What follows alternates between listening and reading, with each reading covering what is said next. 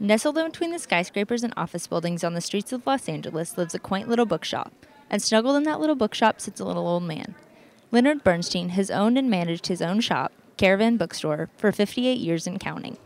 A lot of specialized books, old and rare, out of print books, um, things that uh, pertain to my interests and the interests of my customers, which is Western experience, exploration, travel, voyages. Managing a bookstore isn't all fun and games, but it can be very satisfying in the long run. It's like any other small business. I have to sweep the floor and wash the windows and change the light bulbs and buy the stock and put the stock out and sell the books and know what I'm doing. Not only does Bernstein enjoy buying and selling his large collection of books, he says he also enjoys being in charge. Being your own boss has its advantages, but it's a lot of hard work.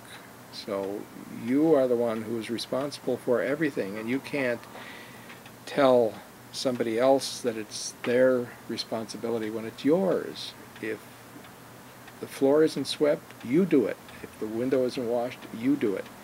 If a customer wants something, you better know about it. And that there's a lot of pleasure in that. But above all else, he enjoys being good at what he does. It's a whole experience.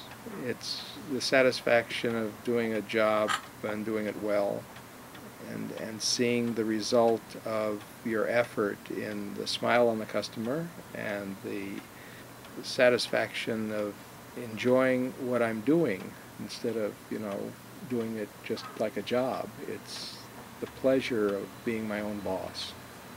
Next time you're in LA, stop by Caravan Books and check out what they have to offer. For Student Television Network, I'm Laurel Critchfield reporting.